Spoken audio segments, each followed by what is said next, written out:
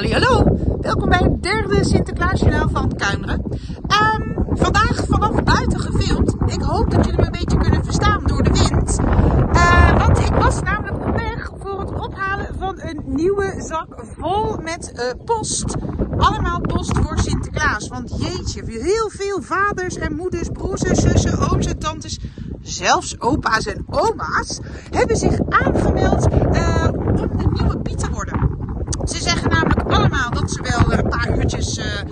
Tijd over hebben. dus dat is natuurlijk fantastisch. En toen kreeg ik ook nog een berichtje van Orlando. Die zei namelijk, kijk eens wat ik hier heb. Een leuk spelletje om Spaanse woorden te leren. Want ja, als je dan toch een beetje tijd over hebt, dan kun je misschien ook alvast beginnen met het leren van een aantal woordjes. Hola, kom está, Spaans. Um, dus Orlando, ontzettend bedankt. Ik ga die doorgeven aan de, de nieuwe Piet. Degene die straks echt de nieuwe Piet van Sinterklaas uh, mag zijn. gisteren hebben we natuurlijk sportieve kwaliteiten gezien van Joandy en van Sigrid. Rina die had een lekker leuk kaartje gestuurd. En heerlijke pepernoten uh, waren ook gebakken door de bakker. Uh, ja jongens, wie het straks uiteindelijk geworden weet ik ook niet. Maar wat ik wel weet is dat ik ook een aantal nieuwe filmpjes heb binnengekregen. En die gaan we nu eens even lekker bekijken. Sinterklaas kan ik ook solliciteren als Piet. Ik was jarenlang op burgemeester de Ruiterschool juf. Wie weet dat nou niet? Al die lieve kinderen die worden wel door mij gemist. Ik heb ze echt niet uit mijn geheugen gewist. Hoe leuk zou het zijn wanneer ik u kan helpen met het rondbrengen van de pakjes. En mijn grootste droom is om door Kuineren te lopen in een echt pietenpak. Omdat ik eigenlijk alle kinderen in Kuineren wel ken, vind ik mijzelf de geschiktste kandidaat. Dus kinderen, misschien zien jullie mij de komende weken wel met pakjes lopen door de straat.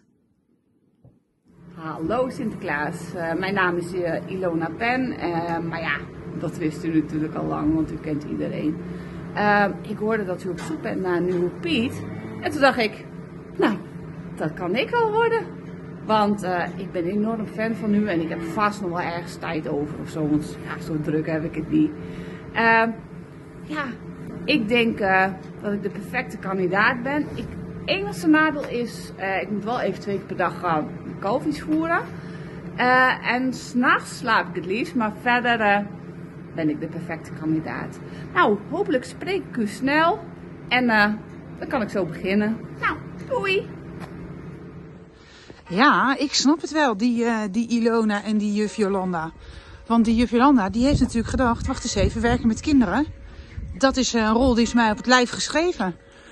Best een goede kandidaat, denk ik zelf. En Ilona, ja, snap ik ook. Die Sinterklaas, die denkt natuurlijk, ja, die Ilona, die heeft natuurlijk alles ook wel heel erg met dieren. Hè? Want die weet exact hoe dat natuurlijk gaat. Die heeft natuurlijk groot hart voor dieren. Ja, ik weet alleen niet of het ook handig is met melk. Want je komt natuurlijk wel echt laat s'avonds thuis. En dan moet je natuurlijk ochtends vroeg wel die kalfjes voeren. En volgens mij heeft Jolanda ook net een nieuwe baan. Dus ik vraag me af hoeveel tijd hij over heeft. Maar nou ja, weet je, uh, nogmaals, zoals ik gisteren ook al zei. Ik ben toch zeker Sinterklaas niet. Dus ik hoef het ook allemaal... Uh, niet exact te weten. Ik doe ze gewoon bij de rest en dan uh, zie ik jou morgen weer. Dag!